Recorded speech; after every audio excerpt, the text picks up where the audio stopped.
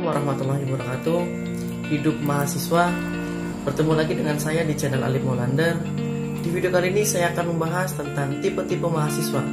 Ada mahasiswa kura-kura Ada mahasiswa kupu-kupu Ada mahasiswa kubis-kubis Dan ada mahasiswa kunang-kunang Buat kalian yang penasaran dengan video ini Silahkan simak sampai selesai. Oke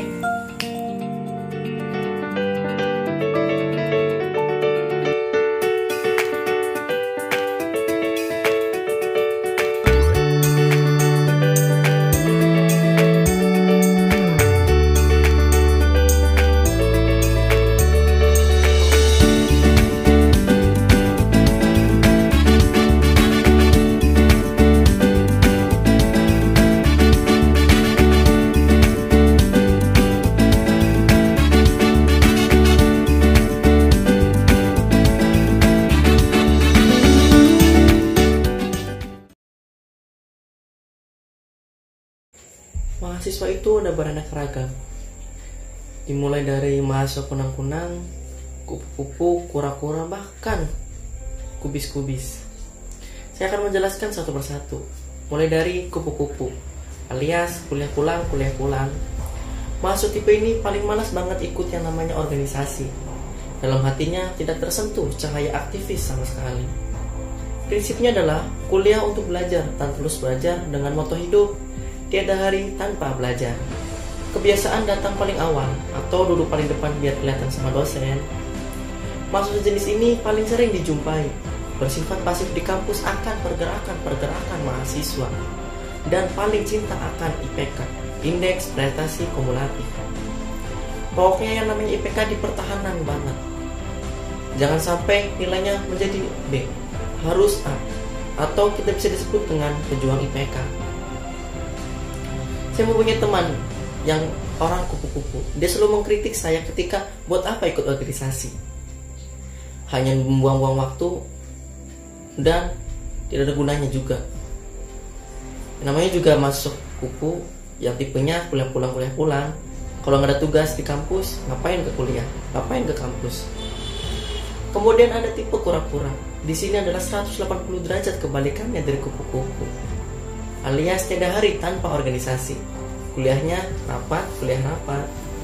Intinya organisasi nomor satu di dalam hatinya. Dengan moto hidup banyak organisasi, banyak rezeki. Karena dengan organisasi banyak relasi juga. Intinya organisasi nomor satu. Dan jarang perhatian dengan tugas yang menumpuk. Karena lebih sering menyusun laporan kegiatan atau LPG. Banyak organisasi yang diikuti bahkan ikut beberapa UKM.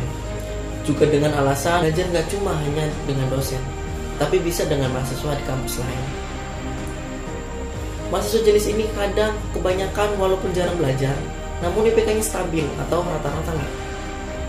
Karena mereka tergolong mahasiswa yang aktif di kelasnya dengan segudang pertanyaan yang diajukan kepada dosen maupun para temannya saat presentasi banyak omongannya. Sampai nggak nyambung? Disambung-sambungin yang nama juga bertanya secara kritis.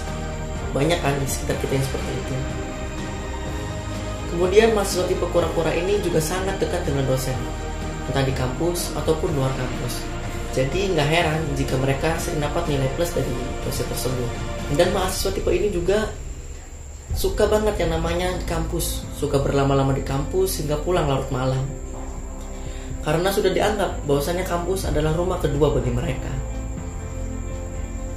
Tapi banyak juga yang beranggapan bahwasannya mahasiswa kura-kura ini lulus kuliahnya lambat atau lulusnya tidak tepat waktu. Mungkin karena terlalu fokus organisasi sehingga lupakan tugas kuliahnya. Tetapi menurut saya itu belum tentu benar karena banyak juga yang ikut organisasi tapi banyak yang menjadi kamlat atau nilainya paling tinggi di kampus. Mungkin dia bisa seimbangkan antara organisasi dengan kegiatan kampus dengan yang namanya kuliah. Jadi jangan beranggapan bahwasanya orang yang ikut organisasi itu telah terus lulusnya. Tergantung orangnya. Oke? Oke, kita lanjut lagi yang ketiga, mahasiswa kunang-kunang. Jangan lewatkan mahasiswa ini karena bedanya pulang tak diantar, datang dan dijemput, alias ngilang mulu ngilang mulu. Kebiasaannya itu suka nungkring-nungkring di angkringan, di tempat warkop, ataupun lain sebagainya. Mahasiswa tipe ini kebiasaannya datang terlambat dan cuek banget sama dosen. Gak merasa salah udah telat.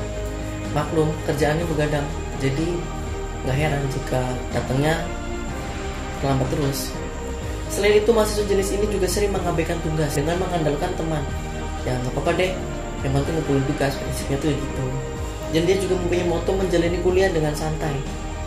Jalin dengan wales dan ya terlalu slow gitu. Tapi jangan beranggapan masih jenis ini juga suka nilainya rendah. Karena jika mereka bisa seimbang ketika mereka kumpul-kumpul dengan orang-orang membahas tentang perkuliahan, maka jangan heran anak tersebut akan pintar. Tapi jika membahas tentang kucing, tentang main game online yang tidak penting itu, jangan salahkan jika nilainya akan rendah. Kemudian yang terakhir adalah mahasiswa bisnis, yaitu kuliah bisnis, kuliah bisnis. Mahasiswa tipe ini kebanyakan anak ekonomi banget dah. Karena orangnya itu perhitungan banget. Kalau kuliahnya itu bisa dapat uang, berangkat ke kampus membawa makanan. Dan biasanya makanan itu ditaruh di jok motor. Kemudian kita taruh ke tempat kantin ataupun bawa ke kelas-kelas untuk dijual belikan. Bahkan di kelas pun sistemnya untung rugi. Yaitu kita sering sering dengar, apakah ada yang mau titip fotokopian? Apakah yang mau beli buku ataupun lain sebagainya? Ya seperti perusahaan jasa gitulah. Kemudian masuk ke status BA atau IG-nya itu terkadang mempunyai dengan kata-kata jualan dengan caption yang sangat menggoda dengan foto-foto yang begitu banyak hingga status WA-nya terpenuhi oleh sebuah bisnis mereka. Tapi nggak salah, karena prinsip mereka adalah kuliah kerja nyata.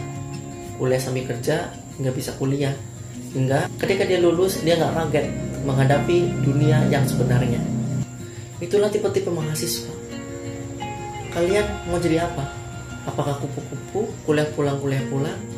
Apakah kura-kura, kuliah rapat, kuliah rapat? Apakah kunang-kunang, kuliah nangkring, kuliah nangkring? Ataupun yang tadi yang terakhir, kuliah bisnis, kuliah bisnis.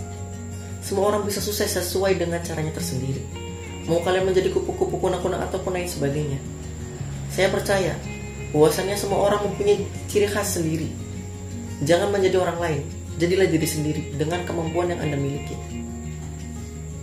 Gak menentu juga ketika anak organisasi bisa sukses. Gak menentu juga jika anak bisnis bisa sukses. Semua kembali pada dirinya, tergantung pada niat. Jika Anda berpikiran bahwasanya Anda bisa sukses, maka saya pastikan Anda akan sukses. Untuk itu, banyaklah teman, banyaklah relasi, dan jangan lupa berdoa dan ikhtiar. Miyaha pernah berkata, Kegagalan akan selalu terjadi setiap saat. Kegagalan terjadi setiap hari dalam hidup kita sendiri. Yang membuat kita berbeda atau yang membuat kita lebih baik adalah bagaimana kita bereaksi pada masalah tersebut. Sekian dari saya. Jika video ini bermanfaat, jangan lupa share, like dan komen juga jika ada masukan buat saya. Topik Hidayah. Wassalamualaikum warahmatullahi wabarakatuh. Hidup mahasiswa.